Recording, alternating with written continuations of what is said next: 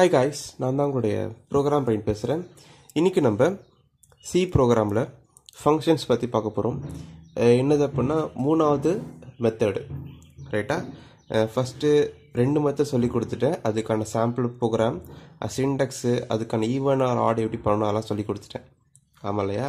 இப்போ என்ன இப்போ என்ன மெத்தட் அப்படின்னா தேர்ட் மெத்தடு இந்த மெத்தட் எப்படின்னா அப்படின்னா வித் ஆர்குமெண்ட் வித்தவுட் ரிட்டன் அந்த மெத்தடில் நம்ம பண்ண போகிறோம் அதுக்கான சின்டெக்ஸ் இங்கே எழுதியிருக்க. இது ஒன்றும் கோடிங் கிடையாது சின்டெக்ஸ் இது. பார்த்தீங்களா வித் ஆர்குமெண்ட் அப்படி சொல்லும்போது இப்போ எப்பயும் சொல்லித்தர மாதிரி தான் ரெண்டுத்தையும் மறைச்சிக்கோங்க. இன்ட் மெயின் இருக்குது ஃபங்க்ஷன் டென்னு இருக்குது ஆர்குமெண்ட்டை பாஸ் பண்ணுறேன் பாஸ் பண்ணுறேன்னா ஏன்னா வித் ஆர்குமெண்ட் வித்தவுட் ரிட்டன் ஆமாம் இல்லையா? ஃபங்க்ஷனில் ஒரு ஆர்குமெண்ட்டை பாஸ் பண்ணுறேன் அதில் ஃபங்க்ஷனில் ஆர்குமெண்ட் இருக்கிறதுனால டென்னுங்கிறது இன்ட் ஏல ஸ்டோர் பண்ணுறேன் இன்ட் ஏ ஓகேங்களா அடிச்சிருக்கேன்ட்டு தப்பாக எழுதிட்டதுனால இன்ட் ஏ இது.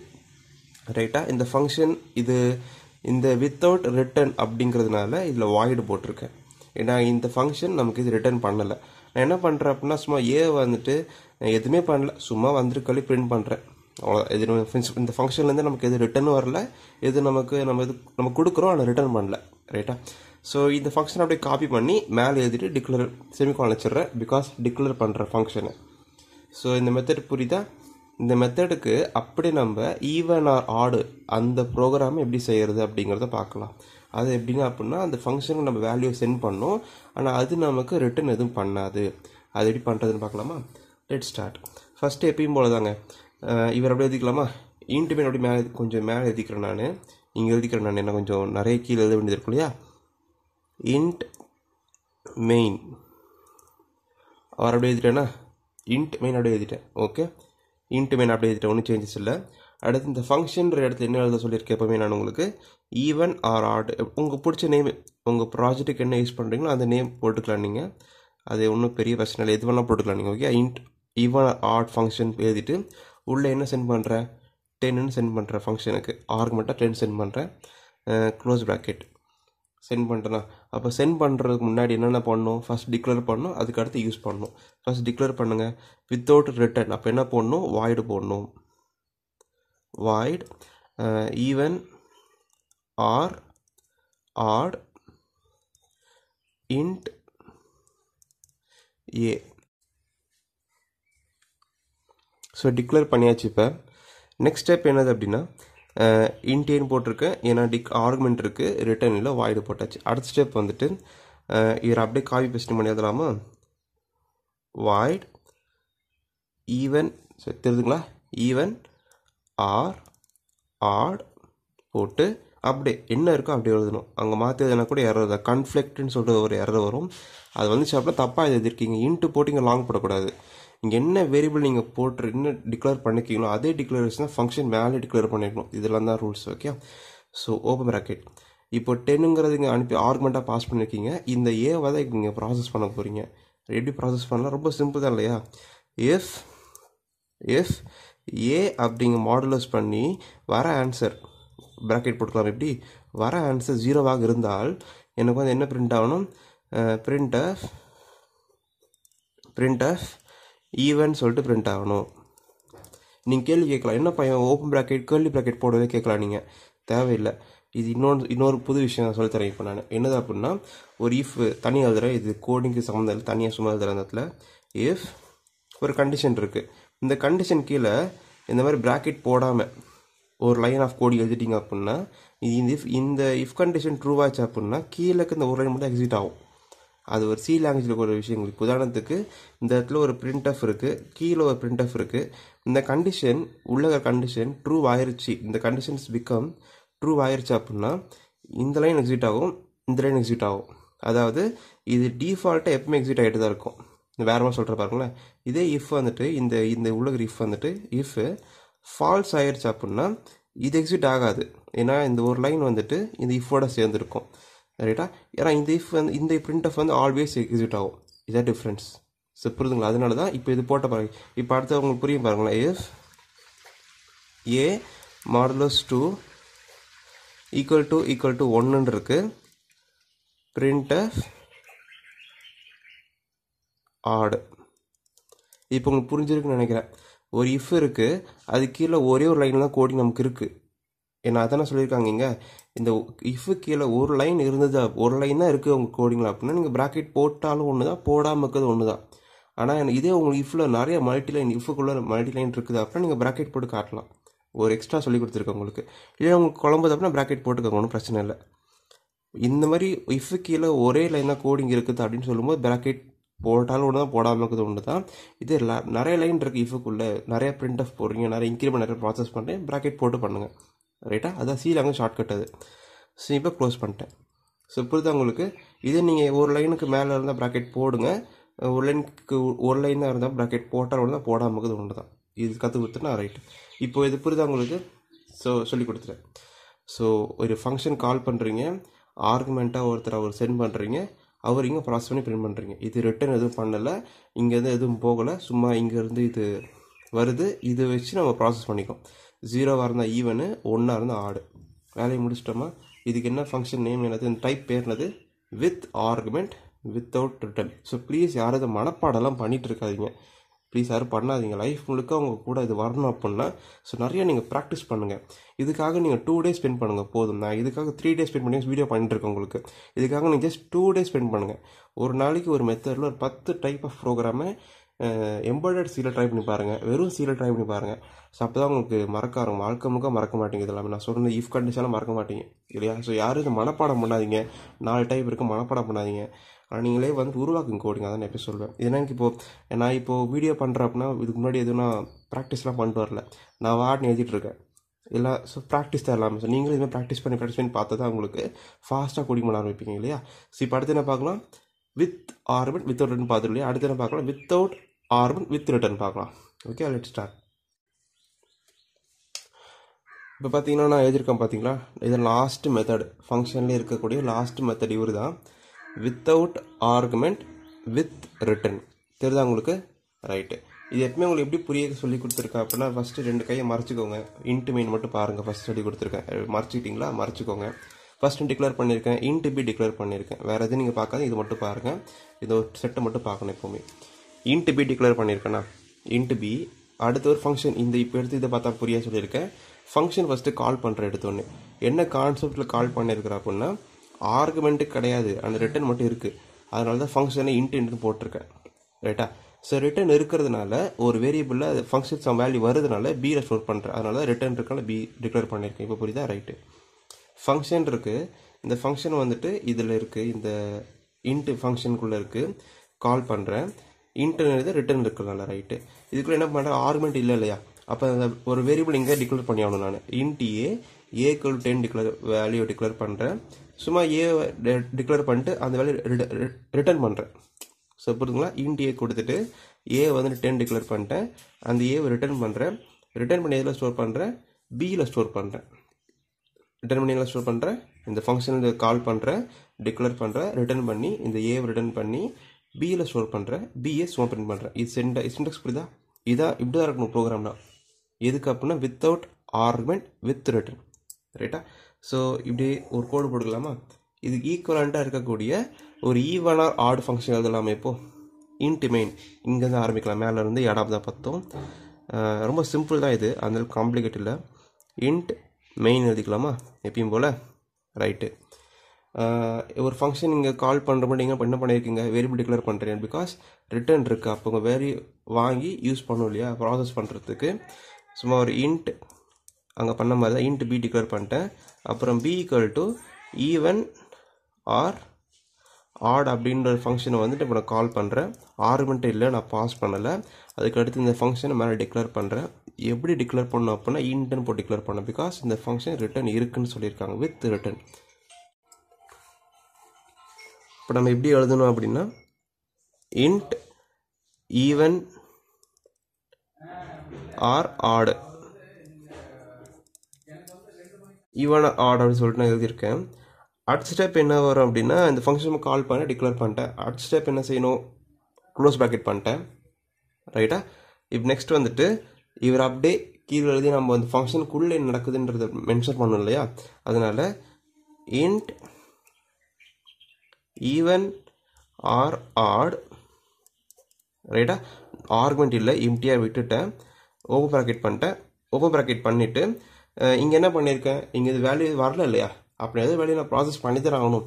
அப்போ என்ன பண்ணிருக்கேன்? இன்ட் டிக்ளேர் பண்ணியிருக்கேன் அதனால் நீங்கள் டிக்ளேர் பண்ணிக்கலாம். அதே மாதிரி இன்ட் ஏ டிக்ளேர் பண்ணிட்டேன். இங்கே தனியாக டென் போட்டிருக்கு இங்கே டென் டிக்ளேர் பண்ணிட்டேன் சேர்த்து.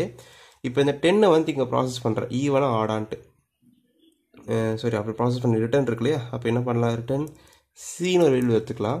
இந்த சியில் ஸ்டோர் பண்ணலாமா? C equal to a modulus ten store பண்ணுறேன் போன வீடியோவில் பண்ண மாதிரியே. எனக்கு ரிட்டர்ன் இருக்கு இல்லையா? எனக்கு இந்த ஃபங்க்ஷனில் தான் அந்த ஏ ஏயோட வேல்யூ வந்துட்டு மாடலோஸ் பண்ணி சாரி டென்னுங்க இல்லை டூன்னு வரும். ஏன்னா டென் ஏ டூவோட மாடலஸ் பண்ணும்போது அந்த வேல்யூ சியில் ஸ்டோர் அனு சென்ட் பண்ணுற மாதிரி. போன வீடியோ சொல்லி கொடுத்தேன் இல்லையா? அதான். என்னென்னா எனக்கு ரிட்டர்ன் பண்ணுங்க அந்த மாதிரி அதனால நான் இது பண்ணுறேன் ஸோ ரிட்டர்ன் பண்ணுறதுனால ஏவோட ஏவோட வேல்யூ வச்சு டூ வந்து மாடலஸ் பண்ணி சியில் ஸ்டோர் பண்ணி சியை சென்ட் பண்ணுறேன் நான். ஓகே இப்போ பார்த்தீங்கன்னா இப்போ ஏழு என்ன இருக்குது சொல்லி கொடுத்த மாதிரி டென் இருக்கும். இதை டூவோட பண்ணிங்க அப்படின்னா டென்னு வந்துடுது ஃபைவ் டைம்ஸ் டென் வரும். அப்போ ஆன்சர் ஜீரோன்னு வரும். அப்போ ஜீரோ தான் ஆன்சராக இருக்கும். அப்போ ஜீரோ தான் மாடலஸ் பண்ணுற ரிமைண்டர் ஸ்டோர் ஆகும். அப்போ சீக்கிரம் யார் இருப்பா? ஜீரோ இருக்கும். இதே வந்துட்டு இந்த இடத்துல டென்னுக்கு பதிலாக நீங்கள் ஒரு தேர்ட்டீன் அடிச்சிருக்கலாமா? தேர்ட்டீன் வச்சுருந்தீங்க அப்படின்னா டுவெல் வரும். டுவெல்னா சிக்ஸ் டைம்ஸ் டுவெல் வரும். அப்போ எங்கள் இடத்துல ஒன் பேலன்ஸ் வரும். அப்போ இந்த இடத்துல ஒன்று தான் சீல போய் ஸ்டோர் ஆகும். பிகாஸ் இது மாடலஸ் பண்ணுறீங்க அப்போ மாடலஸ் பண்ணிங்க அப்படின்னா ரிமைண்டர் தான் போயிட்டு அங்கே ஸ்டோர் ஆகும். இது வரைக்கும் புரியுதா? இதுதான் கான்செப்ட் ரைட்டு ஸோ இப்போ என்ன நடக்குது அப்படின்னா சிக்குள்ளே வந்துட்டு ஜீரோன்னு ஒன்று இருக்கும். அதே நீ தேர்ட்டின் கொடுத்தீங்க அப்படின்னா ஒன்றுன்னு இருக்கும். இப்போ என்ன பண்ணுறேன் ரிட்டர்ன் பண்ணுறேன் ரிட்டர்ன் சி ஓகே இப்போ சி ரிட்டர்ன் பண்ணுறேன்னா சி ரிட்டர்ன் பண்ணி எதில் போய் ஸ்டோர் பண்ணுறேன் பியில் போய் ஸ்டோர் பண்ணுறேன் பியில் போய் ஸ்டோர் பண்ணுறேன்னா if b equal to equal to அதான் சென்ட் பண்ணுற வேல்யூ ஜீரோவாக இருந்தால் பிரிண்ட் ஆஃப் ஈவன் அப்படின்னு பிரிண்ட் பண்ணு. இது சென்ட் பண்ணுற வேல்யூ இதே தேர்ட்டீனு நைனு செவனு ஃபைவ் அந்த மாதிரி சில நம்பர் வச்சு ப்ராசஸ் பண்ணி நீங்கள் வச்சுருந்தீங்க அப்படின்னா அதுக்கு ஆன்சர் என்ன வரும். ஒன்றுன்னு வரும். பிகாஸ் டிவைட் பண்ணி ஆன்சர் ஒன்று தான் ஒர்க் மாடல்ஸ் வரும் இல்லையா? அப்போ இஃப் வர value equal to equal to ஒன்னாக இருந்தால் ரைட்டா பிரிண்ட் ஆஃப் ஆர்டுன்னு பிரிண்ட் பண்ணிக்கோங்க. இந்த கடைசி லைனை வேறு மாதிரி எழுதலாம். எப்படி எழுதலாம்? அப்போ இந்த இந்த கடைசி line if if equal one போட்டு வேறு மாதிரி எப்படி எழுதலாம் அப்படின்னா நான் கமெண்ட் பண்ணி எழுதி காட்டுறேன். எல்ஸ் போட்டு போட்டுக்கலாம் நீங்கள் ஏன்னா இருக்கிறது ரெண்டு ரெண்டு கண்டிஷன் தான். ஒரு கண்டிஷன் ஜீரோ ஜீரோவாக இருக்குது அப்படின்னா இன்னொரு கண்டிஷன் ஒன்றா தானே இருக்கணும். அப்போ அதாவது எல்ஸ் கண்டிஷன் போட்டு அதுக்கு நீங்கள் பிரிண்ட் அஃப்னு போட்டு இதே லைனாக எல்ஸ் மட்டும் எடுத்து எல்ஸ் போட்டு எழுதி காட்டுறேன். வேற ஒன்றும் இல்லை. ஐ மீன் வேறு மாதிரி எழுதலாம் சொல்லி காட்டுறேன். நீங்கள் யாரும் வந்துட்டு நான் எப்படி சொல்கிற மாதிரி சி லாங்குவேஜ் வந்துட்டு இப்படி தான் செய்யணும். இப்படி தான் நீங்கள் செய்யணும் கிடையாது. கிடையாது இப்படி என்ன செய்யலாம். உங்களுக்கு லாஜிக்கலாக தெரிஞ்சால் போதும். நீங்கள் என்ன வேணால் செஞ்சுட்டு போயிடலாம். அதற்காக நான் சொல்லி தரதான் கான்செப்ட் இது. என்ன பண்ணுங்க திரும்ப பார்க்கலாமா? இன்ட் மெயின் இருக்குது ஒரு வேரியபிள் டிக்ளேர் பண்ணியிருக்கேன் ஒரு ஃபங்க்ஷனை கால் பண்ணுறேன் என்ன கான்செப்ட் அப்படின்னா வித்தவுட் ஆர்குமெண்ட் வித் ரிட்டன் தான் கான்செப்ட் நமக்கு. அதனால ஆர்குமெண்ட்டை சென்ட் பண்ணக்கூடாது ரிட்டன் தான் இருக்குது ரிட்டன் இருக்கிறனால வேரியபிள் டிக்ளேர் பண்ணி ஸ்டோர் பண்ணி வச்சுருக்கேன். ரைட் இருக்குது ஃபங்க்ஷன் கூட போகுது. இன்ட் டென் டிக்ளேர் பண்ணியிருக்கேன் சின்னு ஒரு டிக்ளேர் பண்ணியிருக்கேன் சி எதுக்கு அப்படின்னா அதை ரிட்டர்ன் பண்ண போகுது வேல்யூவை சி ஏ மாடலஸ் டூ பண்ணி டூ மீன்ஸ் ஈவனோட கண்டுபிடிக்கிற கான்செப்ட் இது. இது மாடலஸ் பண்ணி சிக்குள்ளே போய் ஸ்டோர் ஆகுது சியை வந்து ரிட்டர்ன் பண்ணி பியில் ஸ்டோர் பண்ணுறேன் எல்லாத்தையும் பேலன் டிக்ளேர் பண்ணிட்டேன். இன்ட் ஈவன் ஆடு சொல்லிட்டு ஏன்னா இன்ட் இன்ட் அப்புறம் ரிட்டர்ன் இருக்கிறனால ரைட்டு ரிட்டர்ன் பண்ணி பியில் ஸ்டோர் பண்ணுறேன் பி வந்துட்டு ஜீரோவாக வேல்யூவாக இருந்தால் ஈவனு அதே பி வந்துட்டு ஒன்றாக இருந்தால் ஆடு ஸோ ஒரே டாஸ்க் வச்சு நாலு ஃபங்க்ஷன் முடிச்சுட்டு பார்த்தீங்களா இதுதான் கான்செப்ட் ஸோ நாலு ஃபங்க்ஷனுமே ஒரே கான்செப்ட் தான். இல்லையா?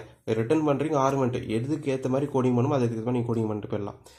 ரொம்ப கன்ஃபியூஷன் வேண்டாம் யாரும் மனப்பாடம் ப்ளீஸ் பண்ணிடாதீங்க. இது மனப்பாடம் பண்ணுற விஷயம் கிடையாது. ஒன்றும் ஃபார்முலா கிடையாது. இப்படி தான் இருக்கணும்ன்ட்டு.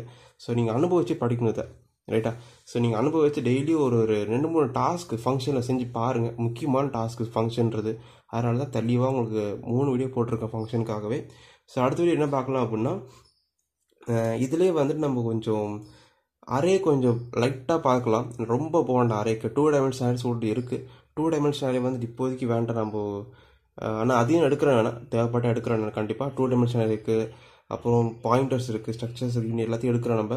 ஸோ பேசிக் ஆஃப் எல்லாம் எடுத்துகிட்டோம் நம்ம இல்லையா? இதெல்லாமே போதும். நம்ம சி லாங்குவேஜ் எம்பட பிக் படிக்கிறதுக்கு. ஸோ இது ப இது படிச்சுட்டு நம்ம அடுத்து என்ன படிக்கிறத பிளான் பண்ணிவிட்டு அடுத்த வீடியோ கண்டிப்பாக நான் போடுறேன் இதில். ஸோ இது ஃபஸ்ட்டு பாருங்கள் இது நம்ம லேப்டாப்பில் எக்ஸிக்யூட் பார்க்கலாம். பார்த்துட்டு நம்ம அடுத்த வீடியோ போகலாம் ஓகே லெட் ஸ்டார்ட் ஓகே இப்போ நான் சொல்லி கொடுத்த மாதிரியே செஞ்சுருக்கேன். தெரியுதா உங்களுக்கு? ஈவன் ஆடு இந்த கான்செப்ட் என்னது அப்படின்னா ஆர்குமெண்ட் இருக்குது வித் ஆர்குமெண்ட் ரிட்டன் கிடையாது. அதனால தான் டிக்ளேர் பண்ணும்போதே வாய்டு கீழே இங்கே வந்து எழுதும்போது வாய்டுன்னு எழுதியிருக்கேன். இன்ட்டு மெயின் எதுக்கு அப்படின்னா இங்கே ரிட்டன் இருக்குது அதனால நான் இன்ட்டு போட்டிருக்கேன். சொல்லி கொடுத்தேன் போன வீடியோவில் அதான்.